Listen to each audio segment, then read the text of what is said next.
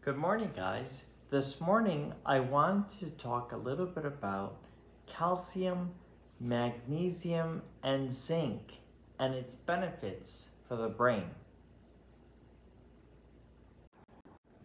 Calcium helps by neurotransmitter release and improving memory in the brain through different circuits. I like to use the Solaray. Uh, these Solaray are capsules. They are not tablets. I don't like tablets at all. I always use a two to one ratio of calcium to magnesium. And this you can find here. And if you notice uh, here closely, so there are 1,000 milligrams of